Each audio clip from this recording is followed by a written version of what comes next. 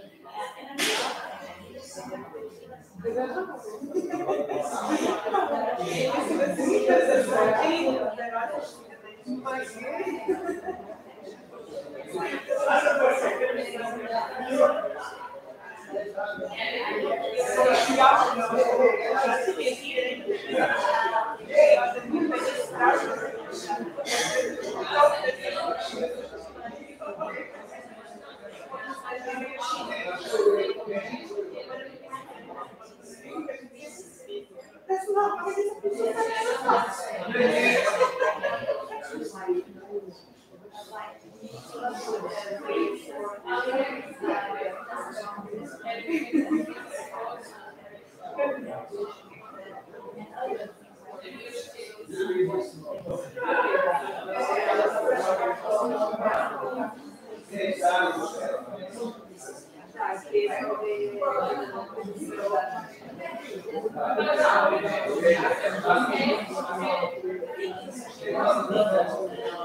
Obrigado,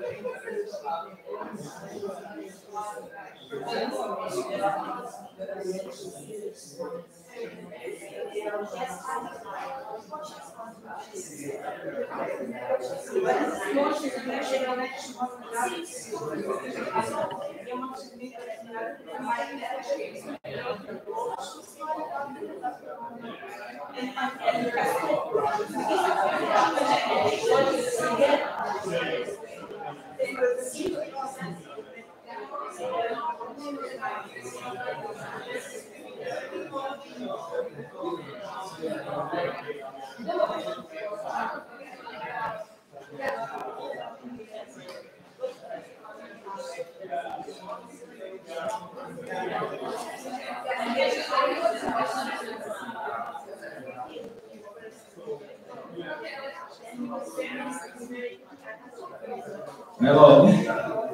Uh, Please comment.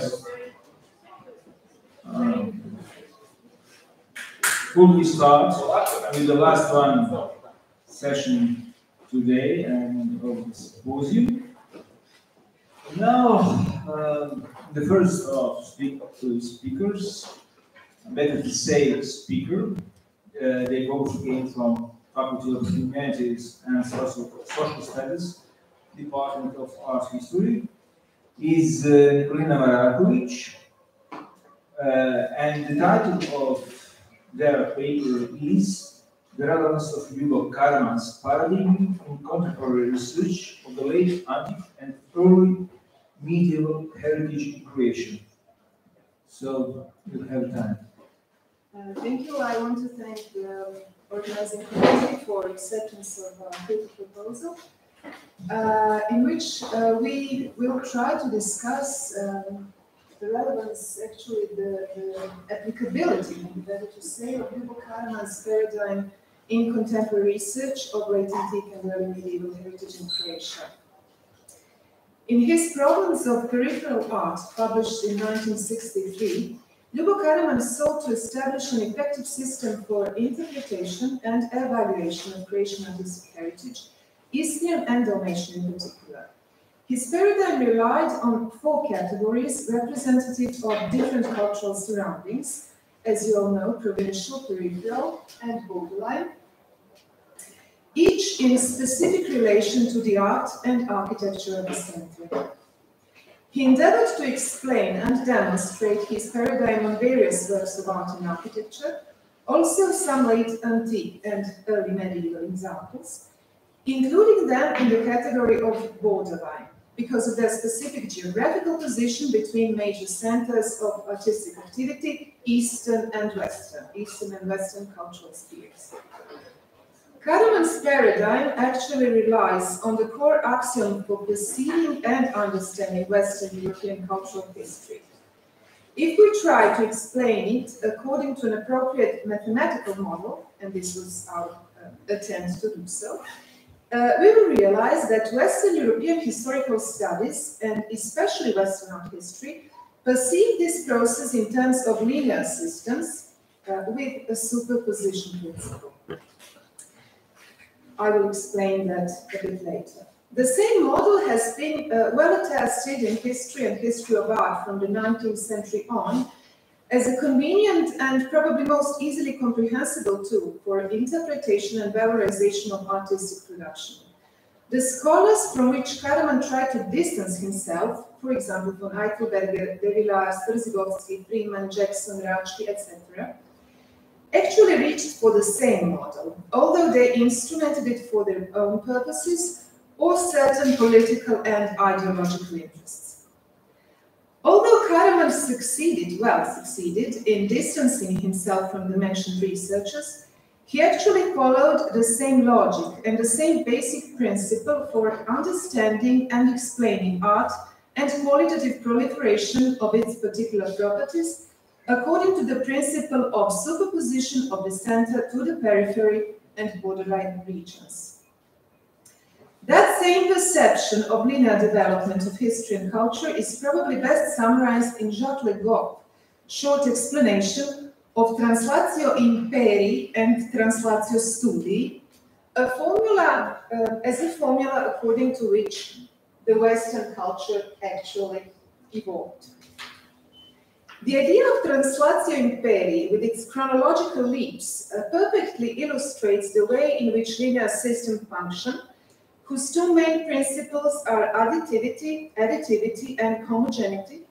Uh, and to explain that, during the course of the centuries, from the times of the Roman Empire to the modern age, there have been many fully successful, less successful, or failed attempts of cultural translation through successive establishments of Neai Romai, new Romes, may it be Ravenna, Aachen, some other town, or Rome again.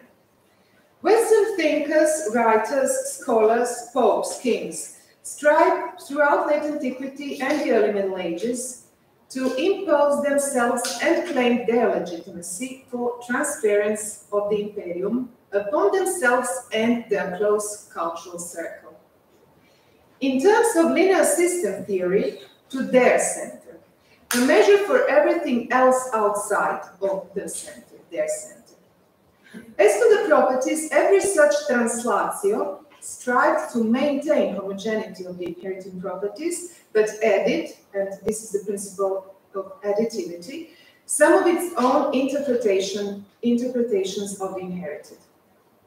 By these two stimuli or inputs, an idea of linear continuity was maintained. In general terms, such a process can by default tolerate just one claimant of legitimacy at a time, and that is why medieval history witnessed continual struggle between secular and ecclesiastical authorities from the Pope of Stephen II, and here we allude, of course, to the forged donation of Constantine, according to which the Western Empire was uh, left for the Popes.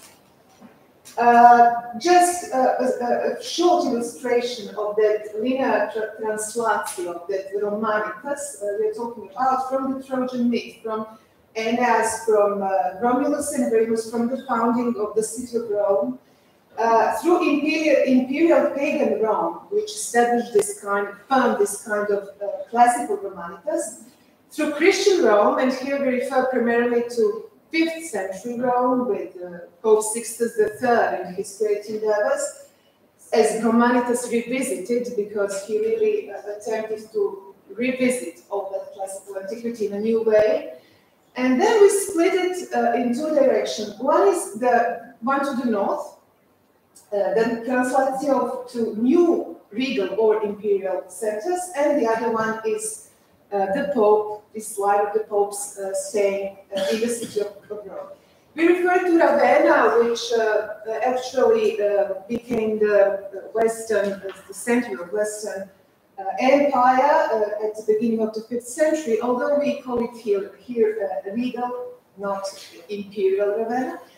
Uh, because uh, the main point here was not so much imperial Ravenna, but the regal Ravenna of the uh, King Theodoric, the Ostrogoth. Then, of course, Frankish, Frankish translatio uh, based on uh, uh, some of that and adding something more. And of course, the, the, the, last one here that we are talking about is the Holy Roman Empire. And probably the, um, the, the, greatest illustration for everyone of that uh, symbolic translatio was uh, Otto III coming into the tomb of, uh, of Charlemagne and taking his imperial insignia. Uh, the other line is the one, the one that follows what happened in Rome. We just uh, here uh, tried to um, emphasize three main points. Uh, Pope Gregory the Great, uh, as the founder of new medieval, medieval papal Romanitas, then Adrian I and Leo III, who were the contemporaries of Charlemagne and uh, who really fully fledged that kind of Romanitas. Uh, Leo III, as you all know, crowned uh, Charlemagne the Emperor. And finally, the 11th century Rome with the popes, with the investiture controversy and so on, uh, is the last point to which we will uh, refer to. Uh, here is that mathematical physical model. To reach for a visual metaphor, we, we reach for this kind of model. Linear system function as a wave. So the peaks of the wave would represent successful translaciones by which the centers are established. Further on, uh, based on the same principle, they transmit the signals as far as possible, again in form of a wave. This particular logic is what Karaman had in common with the other scholars, although their conclusions differed. However, the same logic fades when dealing with uh, Byzantine or Eastern culture. Karaman himself was an opponent of those who emphasized Byzantine components in the cultural heritage of the Adriatic coast of the Eastern Adriatic and insisted on indigenous tendencies and inputs from the West. His standing can be explained in two ways. First, of course, Karaman tried to distance himself from his predecessors and contemporaries, but the second reason is really that Byzantine heritage cannot and could not be comprehended from the perspective of linear systems. Today we are becoming aware that social, economic, religious, etc. fabric of uh, the Eastern Empire was by far more complex than researchers could fathom in Karaman's time. The binding mechanisms upon which the empire was built differ from, and I dare say surpass, those of the Latin West, and Byzantine history and culture cannot be understood from the perspective of the same linear systems. Although the beginnings of Byzantine state and its particular arrangement depend on one of the most important tra translaciones in history, and that is founding of Constantinople, that particular translatio depended on two inputs different from any other that subsequently happened in the Latin West. It showed homogeneity with the original idea of humanitas, and that's why we refer to original Augustan humanitas, uh, which was uh, founded on uh, the myths of the, uh, the founding of the town of Rome. Um, and uh, not the last revision before, and secondly, it revived and extended the properties of the original idea of humanitas. Uh, we could elaborate on this last statement, but due to the time limit, uh, we shall leave it open for the moment. But we can only say that we talk about that um, Congress uh, historians in Rijeka about founding of Constantinople and that idea of humanitas and maybe to say inclusivity of that town, which should have resembled the original Roman idea. Uh, let us just say that the result of that translatio to Constantinople resulted in the formation of an empire which functioned as a complex system and thus developed all of its properties non-linearity, self-redefinition, spontaneous self-reordering, adaptability, and feedback loops. At the time, as the time of the Great Crisis shows, from the time of Emperor Heraclius I, the emperor became a master in exploiting these properties and survived exactly because of those properties. In terms of internal organization, as demonstrated by, for example, Arthur Stanley Magoe in the 70s or Slobodan Čurčić, one of the greatest Byzantinists in uh, 2000, or more recently by the studies of Douglas Whalin and many others, the empire was a patchwork of self-sustainable, self-organizing and adaptable regions which were able to function because of their existence in the empire relied in the same basic principle. From the perspective of Western scholars, cultural hegemony of Constantinople was usually assumed, but in reality, relations between Constantinople and the regions of the empire functioned on the principle of feedback loops, meaning that as the regional art acquired and incorporated impulses from Constantinople, Constantinople was in turn affected by the feedback of regional production and in the circle again.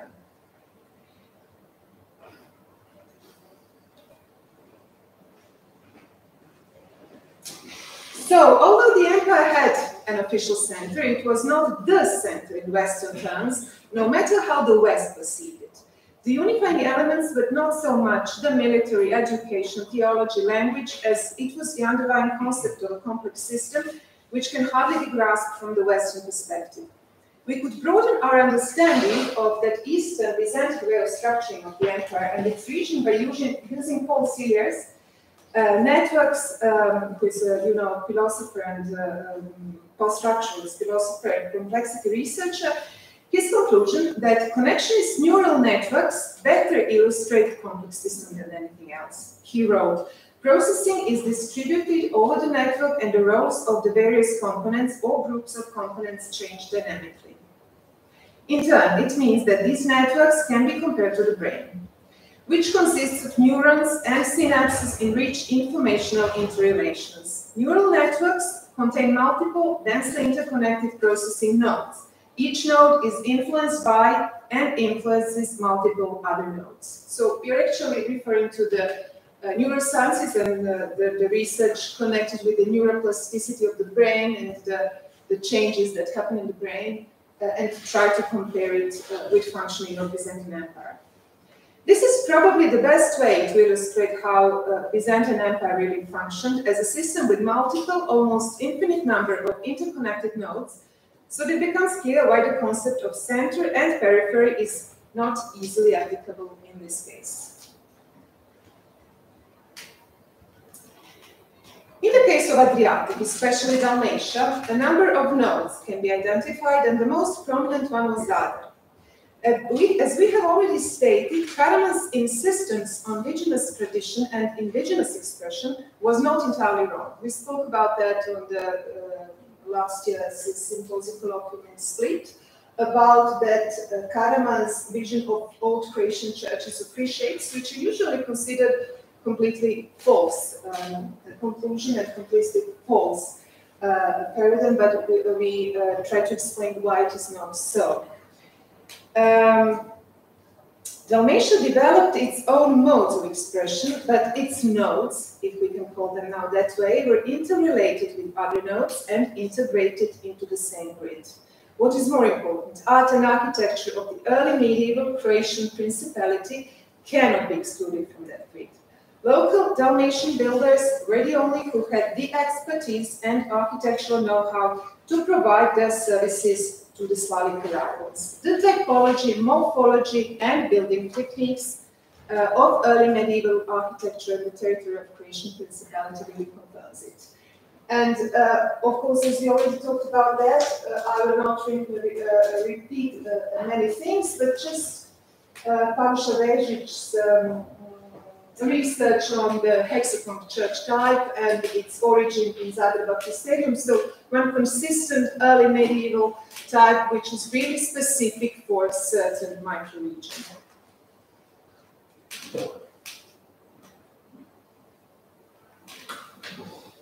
Uh, further on, regionally specific elaboration of the same basic ideas can be traced in Romanian, as we call it, architecture across the Mediterranean. And here are just a few examples, even for comparisons with Dalmatian architecture.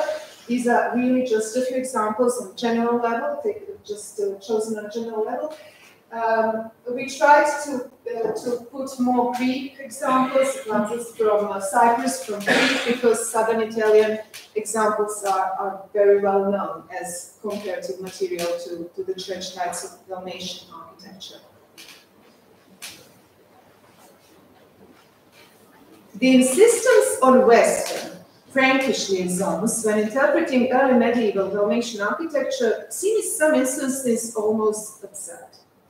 Theodulf's oratory in Germigny-des-Prés, often referred to, is actually an unicum in early medieval Frankish architecture, and Theodulf's connections with and inclinations to the Eastern cultural domain, and by that we mean both Byzantine and Hebrew, is well documented in British sources because he was actually a translator of Greek and Hebrew. Uh, so um, the conception that we usually come upon that uh, uh, Eastern uh, models were, uh, were um, mediated through Western models is completely absurd. It would be hard to imagine that Carolingian architecture, at the time still occupied by learning to read Fredegar's chronicles and developing its narratives about about Frankish ethnicum, had a decisive influence on the culture ages old, solid, unwavering, and highly sophisticated. That extends on the Slavic tribes settling in Dalmatian hinterland and Croatian Principality, which was, judging by the case of Gottschalk, and you all know about the case of Gottschalk on the, uh, the and his relationship with Duke Trpimir, uh, that principality was quite independent from the start, and uh, its first neighbors were Dalmatian Romaioi. Uh, and this last term we use as a more appropriate description of members of the so-called Byzantine society, referring uh, to some research of Treadwell, for example, who says that Byzantines would probably never understand that concept, what that means, because they call themselves, themselves Romans and consider themselves Romans. Uh, in the end, in the end, we should return to Karaman's paradigm and the concept of borderland culture of late antique and early medieval Dalmatia. Situated on the edges of a great and sophisticated, sophisticated empire, it can hardly be seen as a borderline area receiving equally strong or equally weak signals from two competing cultural spheres or cultural centers, and we put here the Frankish Imperial Rome and the Papal Rome.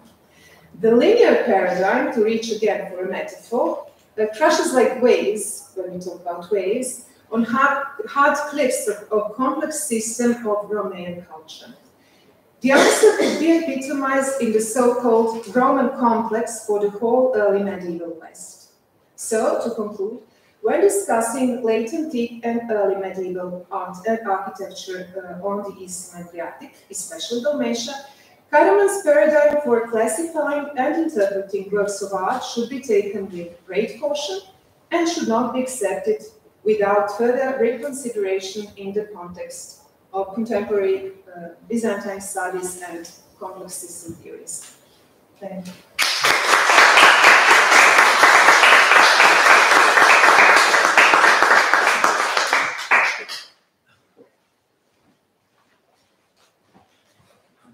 A lot.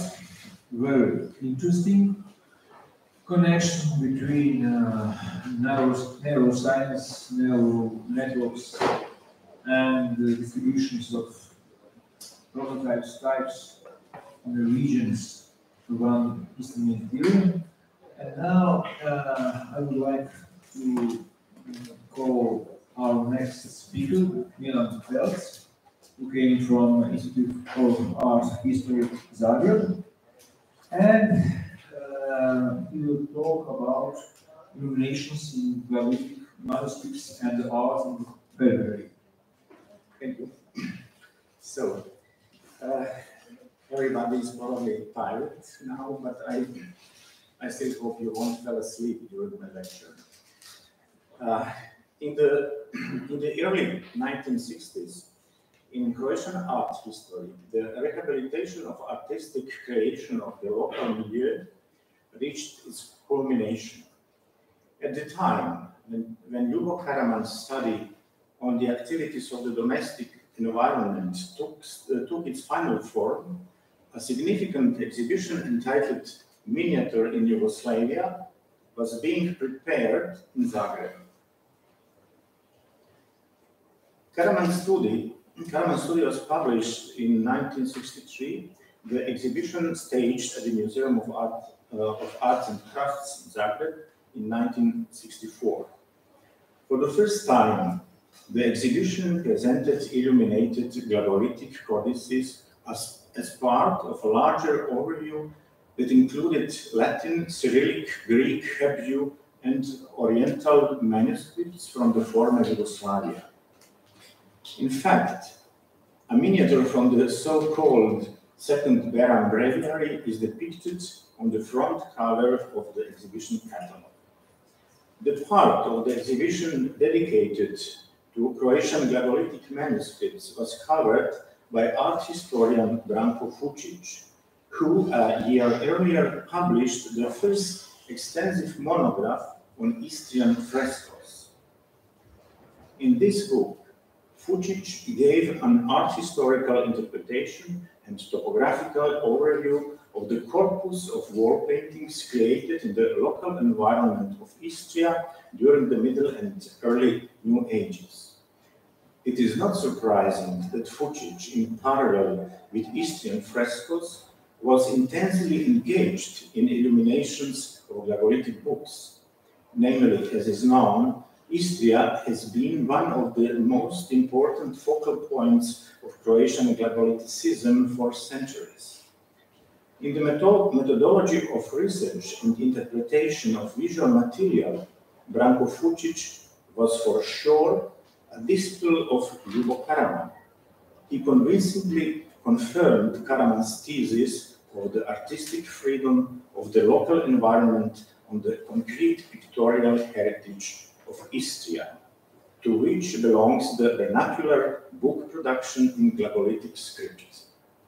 Therefore, I would like uh, I would like this short review to be an homage not only to Ljubo Karaman, but as well to Branko Fucic. The rise and climax in the production of Glagolitic illuminated manuscripts coincides with the rise and climax in the creation of Istrian frescoes.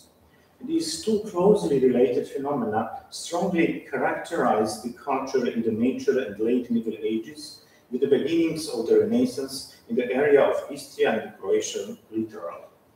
In the frescoes, as well as in the illuminations of Glagolitic codices, the trade of the indigenous art of the local environment has been fully recognized and evaluated by Fucic.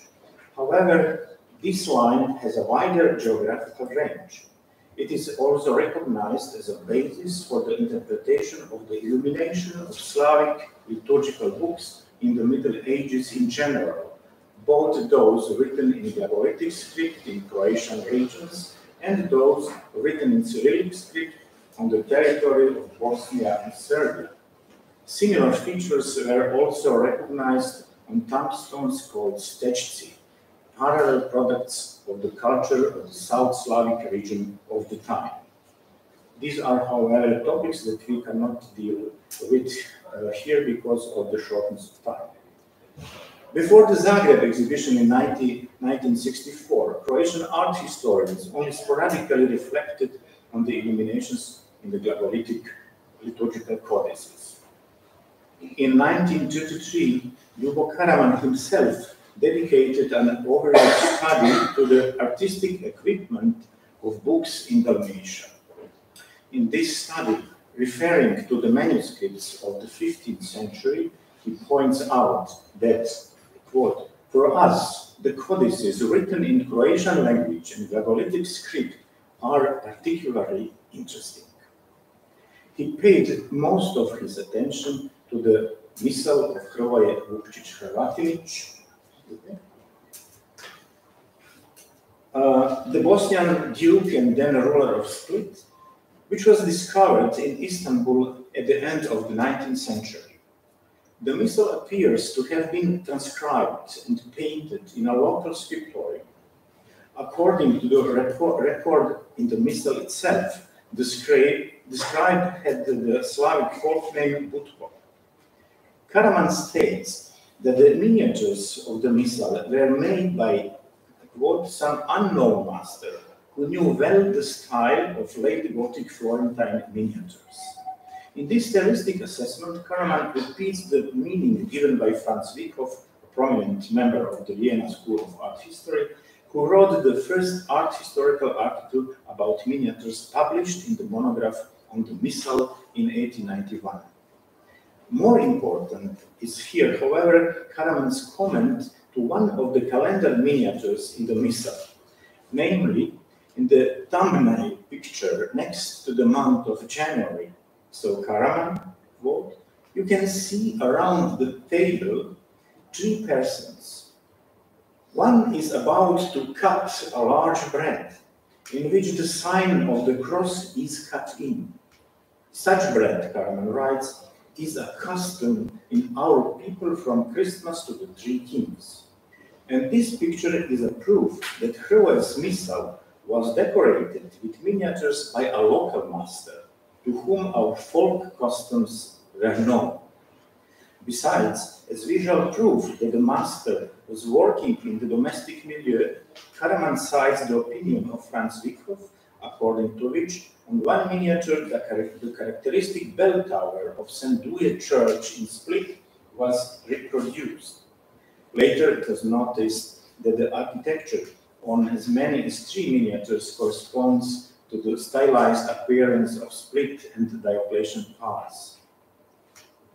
The origin of illuminations in the domestic or local environment established on the basis of iconographic motifs is one of the arguments that speak in favor of the cultural maturity of this environment. Although the miniatures, as Wickhoff taught and Karaman accepted, were made under the influence of the style of the Tuscan Baroque Renaissance, the master who painted them comes from the local milieu.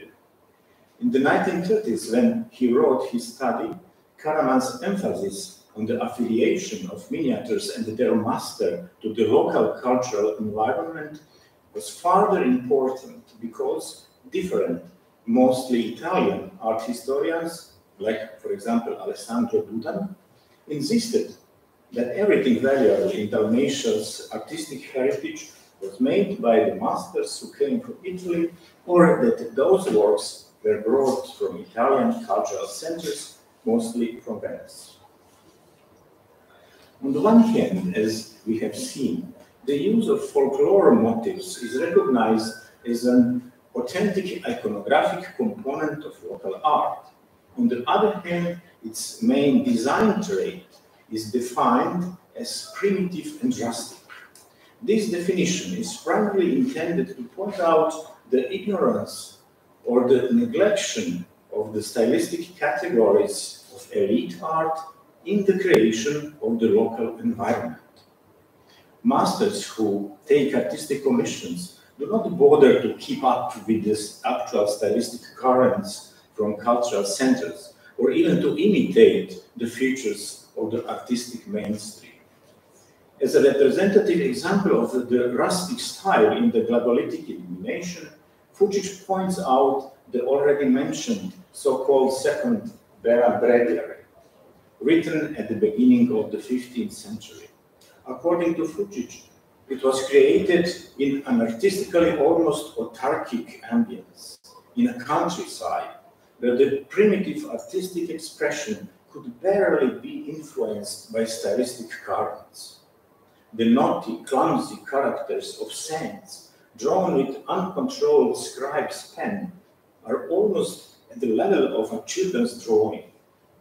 But from their popular naive speech emanates a unique breath of life, glowing with the intensity of pure, screaming colors, red, yellow, green, and quotation. Glagolitic illumination is often encountered as a sympathetic artistry intended for the lower, poor, and less educated layers of commissioners. For the most part, glagolitic liturgical books were indeed modestly decorated. However, despite the fact that the glagolitic codices have been created in the artistically autarkic milieu, as Fucic said, it cannot be remotely claimed for the glagolitic scribes and illuminators that they were ignorant of what is happening on the contemporary art scene. Even in this autarkic milieu, from different sides, the actual stylistic currents came that influenced the artistic creation of the local environment. The most impressive example of the, en uh, of the entry of contemporary artistic mainstream style into the glagolitic liturgical books are the miniatures of the most representative liturgical codex from the glagolitic territory in the 14th century. This is the Missal of Prince Novak from 1368. Prince Novak ruled in the area of Lika and Krbava that is on the territory of central Croatia. The prince intended the missal for the church of his burial. Which church it was, uh, what church it was, we don't know. According to an account in the missal, however, we know that in uh, 1405, the missal was sold by Novak's son Peter to the parish community in the eastern town of Nubla. After that, in 1512, the missal passed into the ownership of the nearby parish church of Roč in Istria. Today it is in Vienna. Its miniatures, crucifixion, the man of sorrows, and depictions of evangelists are clearly the work of a master who belongs to the main artistic current of the Venetian Trecento on the trail of Paolo Veneziano. Based on the analysis of the Sanctorale, it is believed that the missal originated in Zadar. Analogous to this, it is assumed that an unknown painter from the circle of followers of Paolo Veneziano, who then was active in Zadar, was engaged to make the miniatures. The miniatures are completely distinguished from the artistic character of the initials, made in traditional ornamentation common in glagolitic medieval codices. But thanks to the ample use of gold, their ornamentation also acquired an aristocratic character. In the painting and decoration of the missal, the general rule is confirmed. The more significant the client, the greater the degree of lavishness of miniatures, but also the connection of the domestic environment with the artistic fashion of art centers. It is precisely by these features that the missal is followed by the aforementioned missal of the Duke Hrvoje, a book that undoubtedly had a high representative value for its climate. This is evident, evidenced by two miniatures depicting the Hrvoje on horseback and his coat of arms at the end of the missal. In Croatian medieval artistic heritage, this is a unique case of such explicit aristocratic representation in a liturgical book. The fact that at the beginning of the 15th century, Prince Novak's missal was bought for the amount of uh, 45 ducats for one collective user, namely for the parish of Nugla in Istria, speaks of the considerable economic strength of glagolitic users and commissioners. Often, in fact, priests who used the Old Slavic language in the liturgy and wrote in the vernacular script were perceived as simple, poor, ignorant, or conservative members of the local communities. However, they were by no means such in the developed Middle Ages. Their economic background was solid, corresponding to their reputation in the local noble courts. They often served as notaries, prefects, and judges. In a number of cities, as Saint Modruš, Vinodol, Vrbnik, Drivenik, Bribir, etc., they had their church capitals with schools and teachers. Already in 1483, they had a glagolitic missal printed, which is in fact the first Croatian printed book. The first confirmed glagolitic printing house operated in Senj in 1494. Uh, All this speaks of the, the central economic power of glagolitic clergy, which began to decline during the 16th century with the loss of the territory, displacement and poverty of the people caused by the Ottoman conquests. Catholic renewal in the 17th century was not too sympathetic to the peculiarities of the glagolitic clergy and their liturgy as well. Episcopal visitations often criticized them for being too secular. Miniatures painted in the stylistic mainstream, such as those in Prince Novak Missal, had resonance in local production. A testimony to this are miniatures in the missals attributed to the scribe and probably the miniaturist Bartol of Krbava from the beginning of the 15th century. The crucifixion in the Ljubljana, in the Ljubljana missal, in Vienna missals, undoubtedly show that Bartol knew the illuminations in the missal of Prince Novak. All the figures in the paintings of, the, of his crucifixions are almost transcribed from the crucifixion in Prince Novak's missal. Of course, these miniatures differ significantly in the quality of the artistic execution and especially in colorism.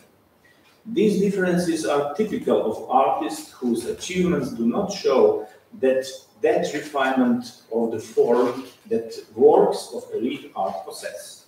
On the other hand, glagolitic artists as Bartol of Krbava are excellent decorators. The proof to this are large, richly decorated initials in the missals. It is the initials that reveal the tendency to excessive decoration that Ljubo Karaman mentions as one of the features of provincial art. His famous book on the activities of the domestic environment, Ljubo Karaman ends with the sentence, I quote, Along, uh, uh, although I did not go in this book to rehabilitate the values of our artistic heritage, I think it follows from everything I said in it that we should not detest expressions such as provincial, peripheral, conservative, retarded, primitive, or in métier unrefined art, because these, as we have seen, are not always negative phenomena. Karaman's younger contemporary Branko Fucic went a step further with the interpretation of Istrian frescoes and glagolitic illuminations. He interpreted the apparent formal shortcomings loud and clear as the virtues of an indigenous artistic creation of the local environment. This creation is powered by various sources while following the expectations of the local commissioners. I believe that on this trail outlined by Karaman and amplified by Fucic, it is necessary to continue to explore and discover new features which belong to the freedom of artistic creativity in the local media. Thank you.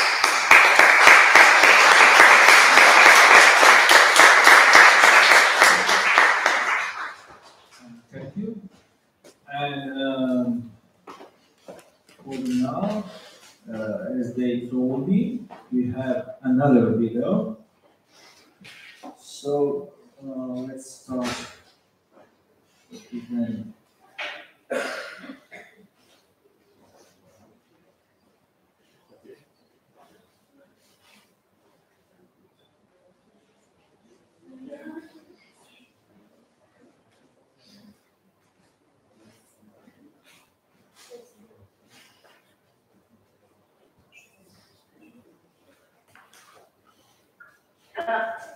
Well, Lorna, thank you for the introduction. It is an honor to participate in this conference, and even though I can't be here with you in person, I actually get to get to know you more about your research. Since I'm focusing on quite a local subject, I would like to start off with a brief introduction regarding the location uh, of the Ečka settlement, as well as the Church of St. John the Baptist, where the bathing some research about Ečka settlement was built in 1718 on the outskirts of the Hungarian territories in Torontál Castle, uh, Banat in Vojvodina, northern Serbia. Later on, in 1781, the 30,000 acre land was given to the town of Ečka, which was the Lukaschlager, and later Other family was very respectable and wealthy, and in just a few decades, the Ečka estate became a famous model farm and remained the property of the one family for 160 years. Over time, the imposing estate became one of the major cultural centers of Ghana, and Lazar family actually became notable. In addition to many famous performers, uh, the nine-year-old Francis performed when the actual castle opened in 1820. For years, the Japanese Dominion plays of domestic historic characters, uh, like the Archduke Franz Ferdinand and other impactful political figures of the time. The Roman Catholic Church of St. John the Baptist was built in 1864, which will become grounds of Ečka on the site of the former 1794 church, which was heavily damaged in fire. Its founder, the distinguished Austrian General Zsigmond Lazaty Ečka, fought on the side of the Vienna court during the 1848 Hungarian Revolution, and after a successful military career, returned to his estate in Torontál By erecting uh, a vehicle erected near his estate, Zsigmond paid tribute to the Lazaty lineage and created a new religious pivot for the inhabitants of Ečka. During ceremonial consecration of the new church, General was honored with the Order of St. George, given to him by the Pope Pius IX.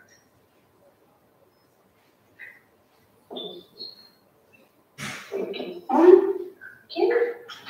James property is military grade in Vienna, with the social European influence is evident in architectural and artistic installation of the. And architect named Kansky was attracted with the draft, who some design from the uh, neo-Romanesque style, while the construction work itself was carried by uh, the engineers that. Architectural historicism was part of the stylistic and ideological tendency of the time, mostly represented in the capital cities of Central Europe, such as Vienna and Budapest. By uh, building in the neo-Romanesque manner, the Zsigmond show is put back today with the current aesthetic forms of the time, which is also indicated by the hiring of the Central European artists created fresco and church altars.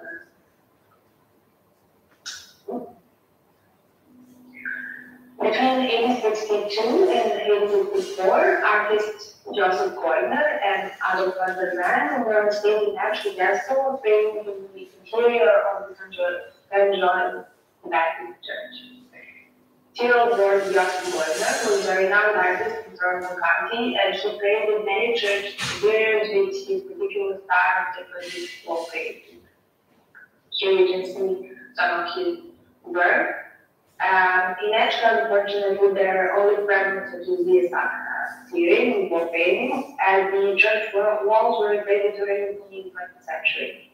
Well, Joachim Goldner's life story career are very interesting. We did fit the theme of this conference, so then I will be focusing more on paper into the work of uh, Adam van der. But if you have any questions regarding the work, feel free to email me.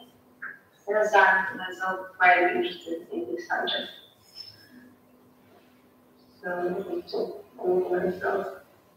Okay, alright. Okay. Uh, so as I mentioned previously, Dutch painter Adolf van der Ven was hired to paint the altar painting and two sacral portraits for the Church of Saint John the Baptist.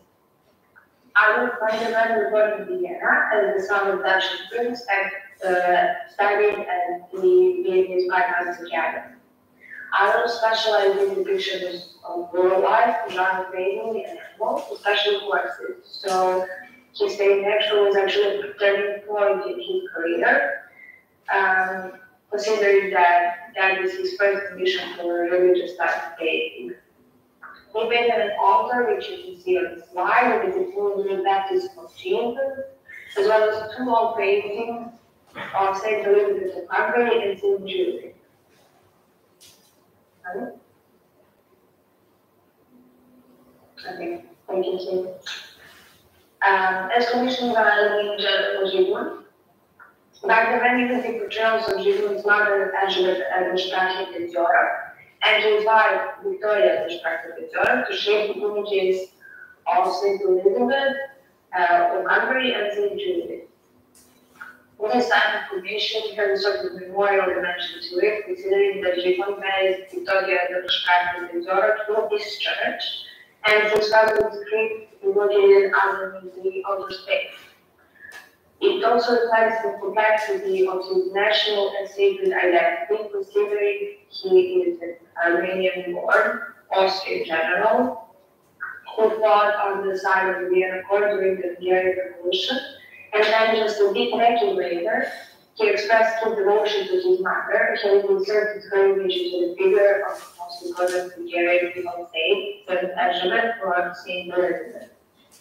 His adherence to mother and wife uh, is immortalized in the depiction of uh, an early Christian and medieval saint, which indicates his distinct piety in relation to the traditions of the noble family plaza. Within gesture, also highlights the Austrian general's conformity to the local context and the environment of Berchka, while emphasizing the connection between the center and periphery of these outer territories of Hungarian kingdom in this post-revolutionary period. Uh, since we're so short in time, I will finish this way, but uh, in my paper, I will focus more, of course, on these depictions as well as the political and cultural circumstances of the time. But for now, I think this is enough just to get to know the chapters I'm working on.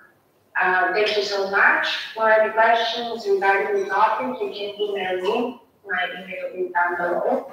And thank you once again um, for letting me participate in this conference in this way. I'm so sorry I can't be here with you, but see you next year. Yeah, thank you so much. Um,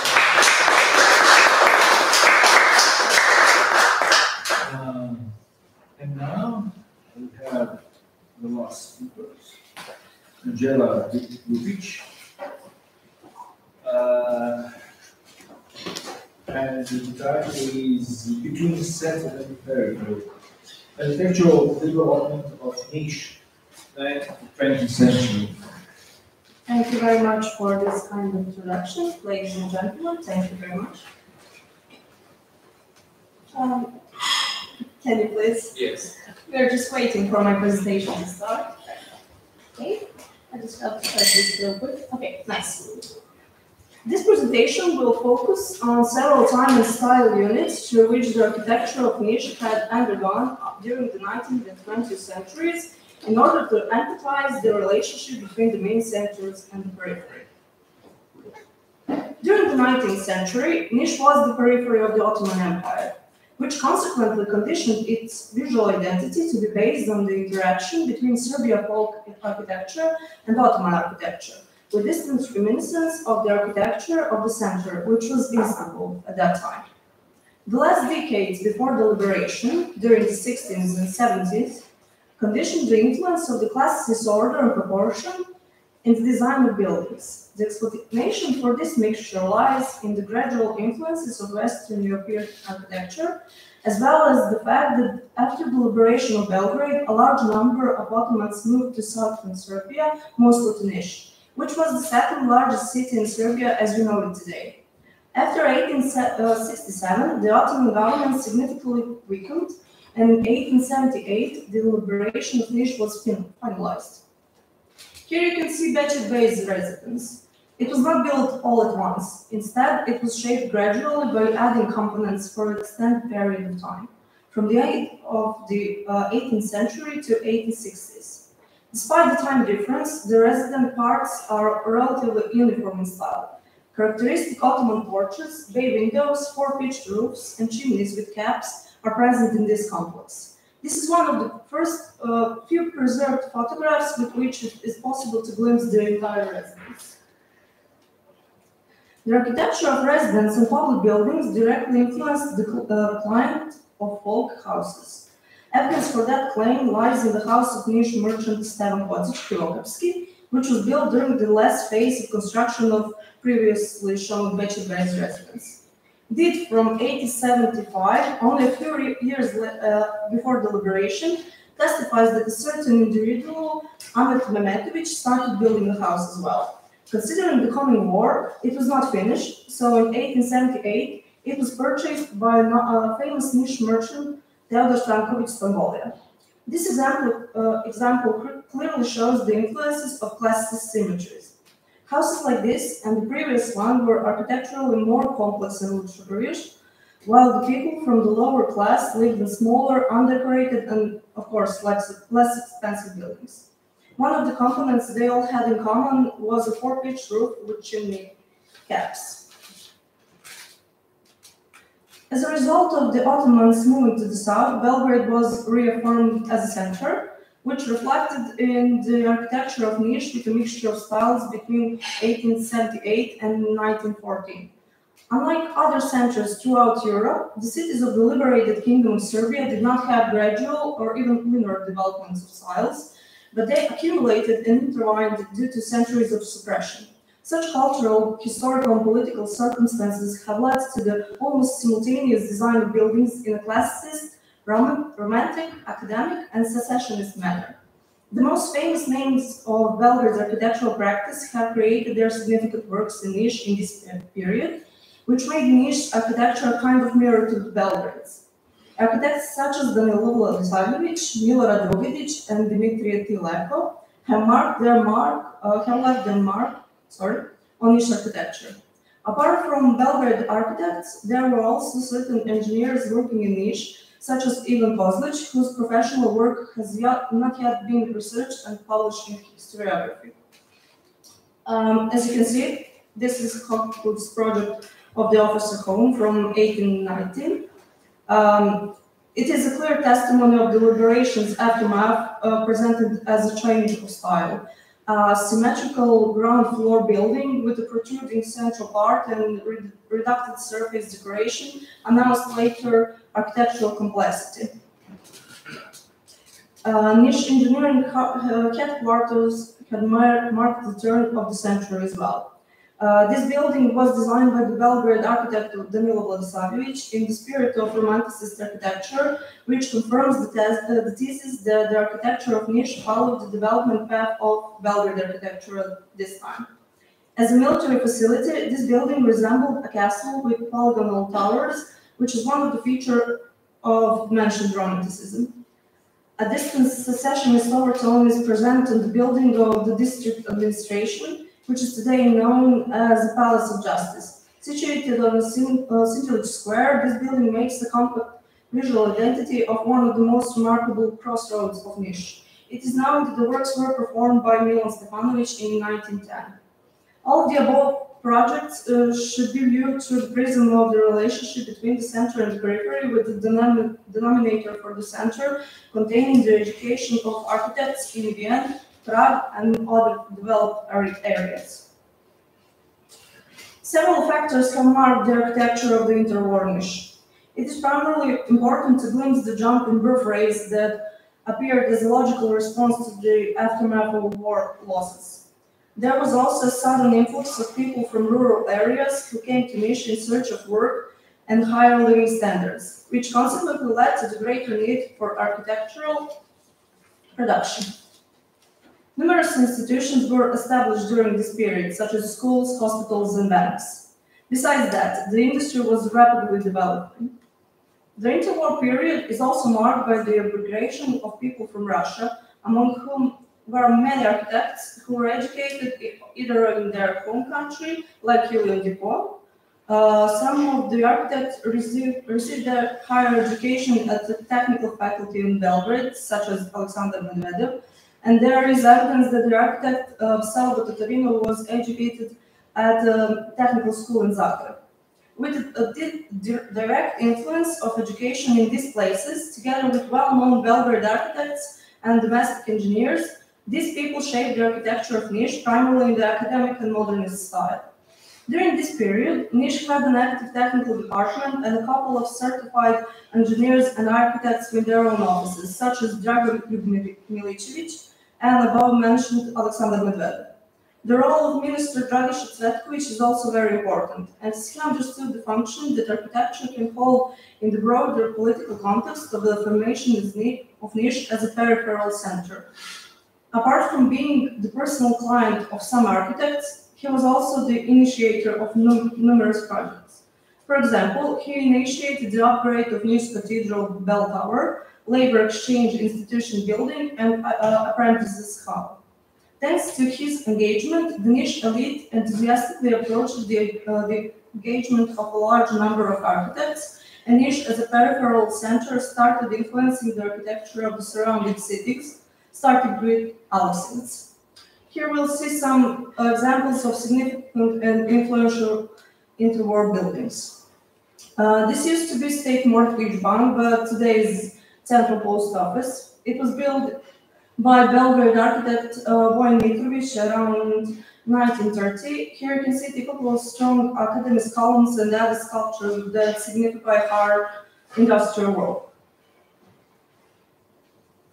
On the left, you can see uh, Banovina Theater. Uh, Selva Totorino designed Banovina Theater's building in 1939 as a combination of modernism and academicism, which is noticeable on the front, front facade. Uh, you can see how refined forms in the upper sentiment are concluded with the massive pillars in the lower one. Uh, in the same year, Medvedev designed his most prominent modernist building, the Apprentice Home. home. The exterior is example of flat and rounded surfaces with a standing clock at the top. I'm now showing you this drawing since it's really hard to take a photo of the whole building complex. After the Second World War, there was a major change in the political system. Uh, socialism resulted in stronger communication between the centers of the former Yugoslavia, and thanks to that uh, and to the additional input of external influences, the architecture of Niš had become more complex on the one hand and more uniform on the other. There were two strong uh, currents. The first one was the planned construction of Niš settlements such as Durlan, Marger, or previously Lenin Boulevard, now Boulevard Nemanjića. Uh, the second current is focused on innovative uh, projects such as expressive sculptural building health center in Niš from 1962 by architectural duo Mirjana Jovanovic and Svetislav Markovic and post Durlan built in the 70s by architect Kosta Marjanovic.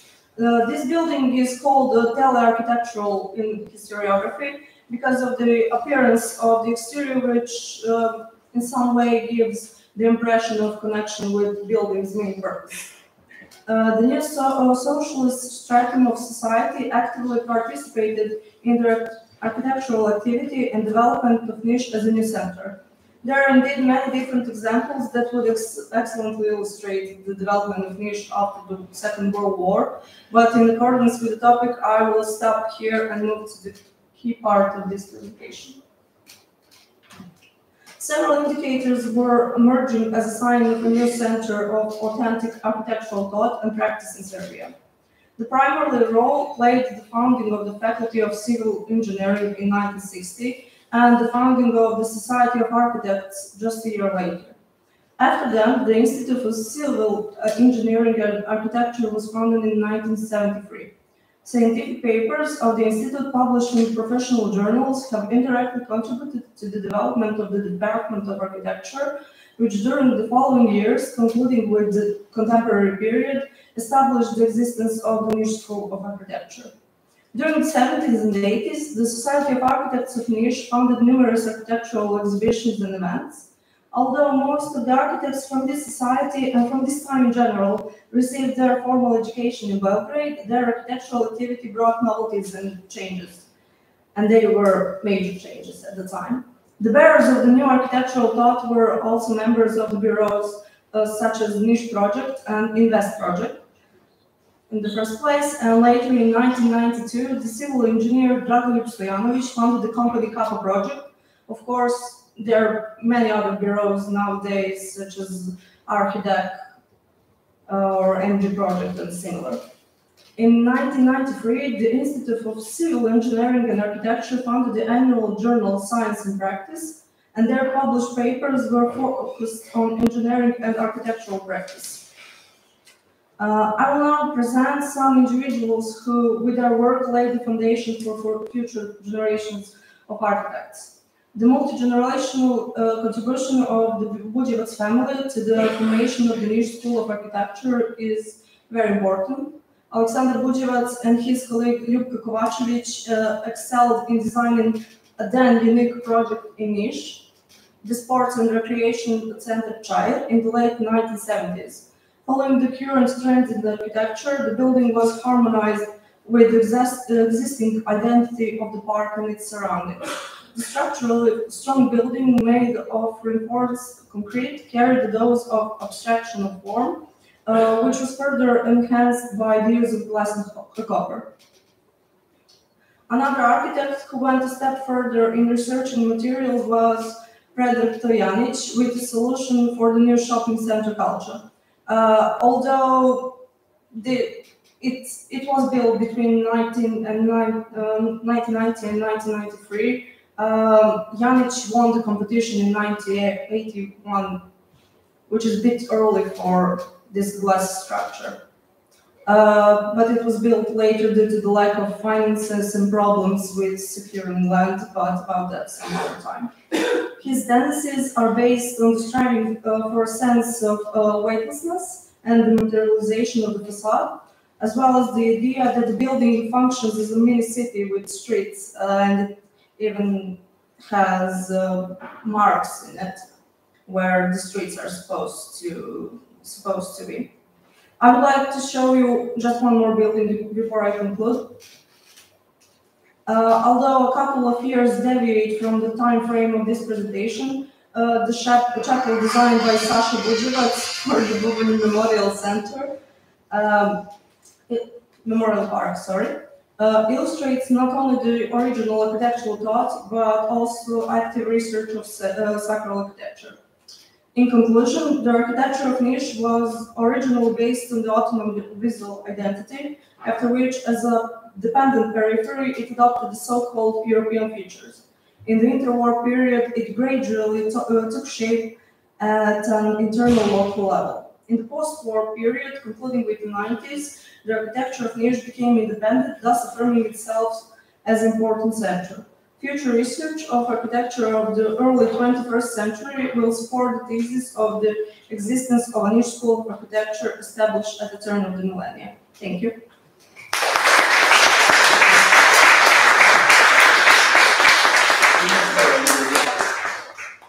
Uh, thanks a lot. Um, I the other two speakers to uh, take their seats. Um, so I have no doubt that after this session, you will have a lot of questions because uh, there's interesting topics, subjects, ideas, or some, something like that. We can start with the first one. Uh, Criticism, of course, yes.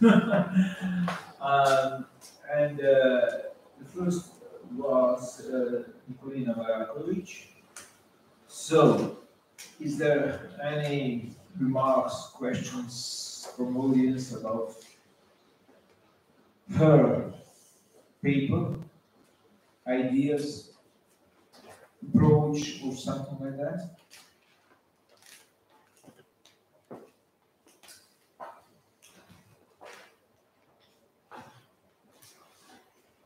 Don't disappoint me because I respect that you have a lot of interesting question, opinions at least. Uh, there's one.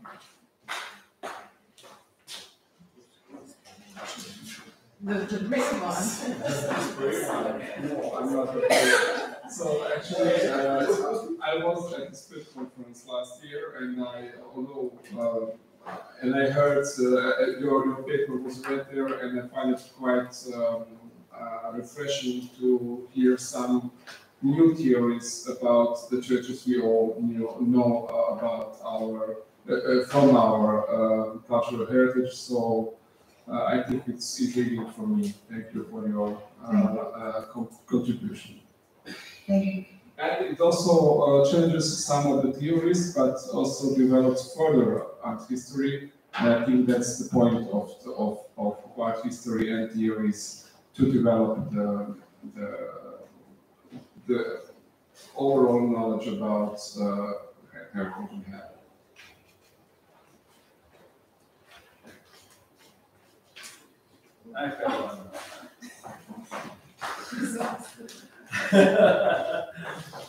Uh, she is special for me.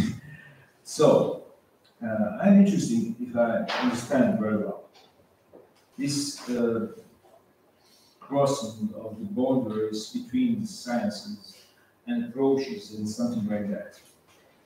Uh, Between uh, neuroscience and neural networks in the brain and parallel with the relationship between uh, center and periphery, in Eastern Mediterranean world during late antique or early medieval period. So, if Dalmatia, the Dalmatian's position is on the periphery of the, that world, uh, where is the center? Like brain. There's, where is the center in the brain? Uh, I would like to know, where is the center? Is there two centers, many centers? It's, uh, I, I think this is a very uh, brave um, attempt to, to connect two, two very, very different uh, sides and positions. Uh, because we don't know almost anything about uh, neural networks in, in brain and just a little bit more about connections during the late medieval or um, period. Yeah, the, uh, that is not actually our original idea so much as uh, from reading this post-structuralist philosopher, we actually um, realized that he uh, he's the one who, who who told that complex systems would be best explained uh, like the functioning of the brain. So it's actually his idea, and uh, the Byzantine uh, um, Empire, uh, as such, in contemporary Byzantine studies, is studies studied as a complex system. So it was just our parallel to draw that from this uh, philosophy of complex systems and connect it with the, the contemporary um, studies of uh, Byzantine culture. And um, about uh, your second uh, question, uh, where is the center? Uh, it's typically Western question. Uh, yes, we, we, we as Westerners are, and as medievalists who read um, Western authors, um, actually um, developing that way of linear thinking, and we always try to find the center. Where is the center which emanates uh, everything into periphery. Of course, that Constantinople is the center, uh, it's without doubt.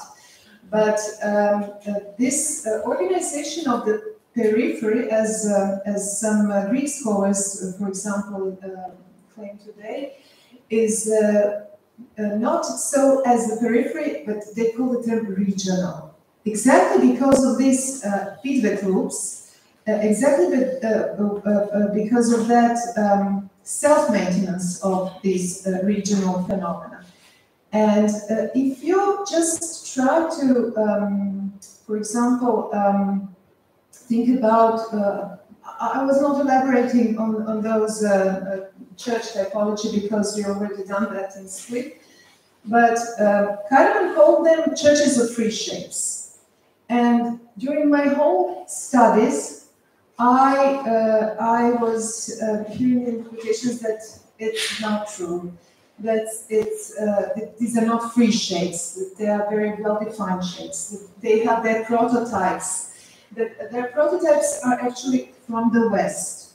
Um, but things are not so simple. So I think that the truth is somewhere between free shapes, because they're not completely free shapes, uh, and that strict typological classifications given by Marasovic, for example, which are quite useful and needed in our uh, studies, uh, but um, too rigid uh, to, to, to grasp what was happening here.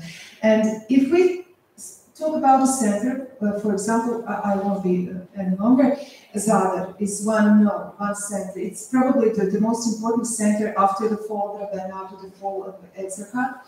Um, and the dispute whether the Church of Holy Trinity um, is a copy of copy of Aachen Chapel or something else with a new uh, proposals from Neven Budak that uh, it may, may, have been funded by uh, by, by uh, Eastern Emperor by Eastern.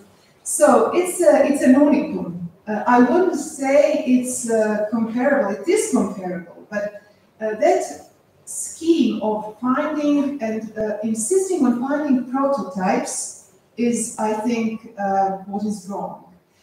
Uh, when, uh, for example, you uh, you take uh, all those churches of free shapes, I, I, I call them, we call them Romanian architecture. Why? Because we don't want to call them Byzantine, because as I said, Byzantines would not understand that concept. They considered themselves Romans. So maybe it's for us also, because uh, when we say Byzantine, we always think of something strange, something not ours, something from other culture. Actually, our culture. It's in the the the, um, the, the bottom, at the bottom, because it's Roman culture. And um, uh, these uh, hexagon churches that I tried to extract just as one type, uh, are very, very well model actually that regionality. They're unicum. They will be seen before in um, funeral anti uh, late antique architecture or later, even on the north. But at that time, at that place, they actually present the unicum and they are maybe the best representative or one of the representatives of that regionality. Southern the Dalmatian churches uh, with cupola are one of them. They differ from Italian, Greek, Greek but yes, but they are actually uh, variations of similar ideas across the Mediterranean. So we just try to emphasize that regionality of Mediterranean and and to to actually put our heritage again closer to that grid, uh, and not so much as we think, very often politically motivated, ideologically motivated, pushing to the west. Uh, that's, that's it. Thanks. So uh, is there any other question about this topic? Are you? Uh, Satisfied with this explanation? So, uh, we can uh, go further, so, uh, there is some connection between, uh, the next uh, paper, uh, this autonomous, we have to, to look this, um, phenomenal in very, very like some politics in other light. I think there is a, a key, key, uh, word uh, about Fucic approach and Karaman approach. Yeah. So I think there is a very, a very good uh, point out from your paper. Yep. I, I wanted to give some, as I said, a homage to Branko Fucic, who is really an outstanding art historian in in Croatia in the last century. And he was some, uh, we can say he was a, not directly uh, in, uh, pupil, but uh, for sure influenced by Ljubo Karaman. Everybody was influenced by Ljubo Karaman. Uh, I can also say for myself I also influenced. But this is not my theory. This is uh, what I said. It is only an illustration of the theory. And it's, of course, as every theory, in, it has its good and its weak sides, its strong and its weak sides, and we can discuss it uh, in, in every aspect of, uh, of art history. I tried to make it um, a little bit uh, known to you uh, this, uh, especially in this field of the uh, Glagolitic manuscripts, which uh, and illuminations in Glagolitic manuscripts, which are really uh, unique um, artistic, uh, unique artistic products in the whole of, of Europe. So we can s- say so. And there are also, of course, many connections to other Slavonic, as I said, um, uh, codices from this uh, middle, age, uh, middle age and uh, early, uh, early modern period time and so on. So, is there any other question from audience? Yes, yes, thanks. Thank you. Uh, I was wondering, you mentioned uh, about the style, that it was almost um, purposely childlike. I was wondering uh, if there was, that, that is regarding this, the style, but are there any differences um, on the central and peripheral iconography regarding the, the sacred scenes, for example? Yeah, that, that's a good point. Um, uh, I had it in my paper, but I left, left it out because of shortness of time. Uh, an, an example from the Missal of uh, which is a good, uh, good case uh, uh, in this iconogra- sanctuary iconographic.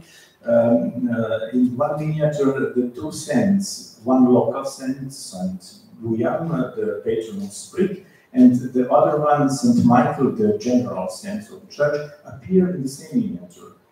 Why? Because uh, the feast of St. Michael uh, was uh, uh, imminently after the feast of the Saint Dujam in spring. And so the miniatures connect these two uh, iconographic specificities to one unit, which is which is really specific for uh, for this local media. You cannot find it in, in any other uh, manuscript of this time or in, in the general uh, manuscript production. It's really specific for Split and for, for this miniaturist. So, and uh, there are many examples, of course, it's Sanctorale, it's saints uh, who are venerated in uh, local milieux. They were also, uh, uh, they were uh, put in the miniatures and so on. Thank you.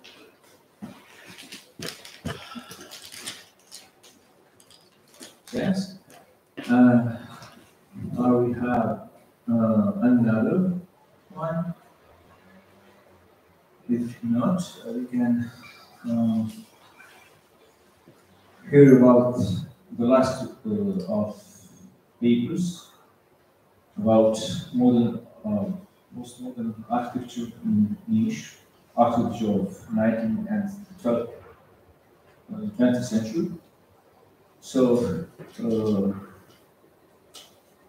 are you interested to, to comment or to give some opinion about that, or something like that? If we're so tired, Yes. No, I I will say something, no, it, it's good that you're here.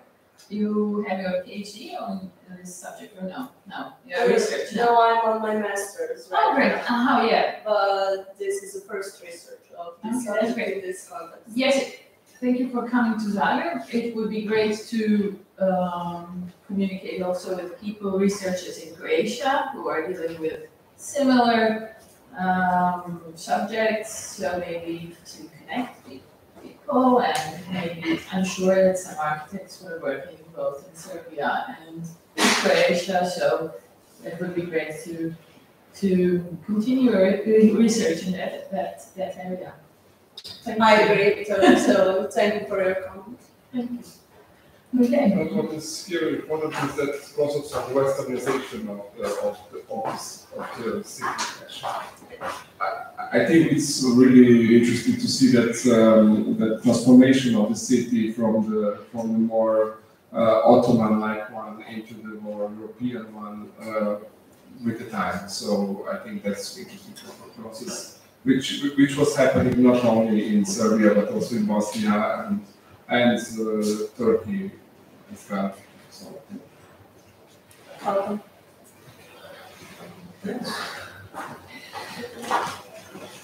Uh, So, um, I think, uh, that will be all, but there is no coffee break. This is good information because, uh, we start immediately on conference closing session.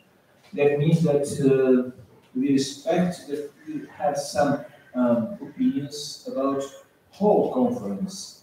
Uh, you, um, I think, uh, uh, something like praises, uh, criticism uh, about the subjects, about organization.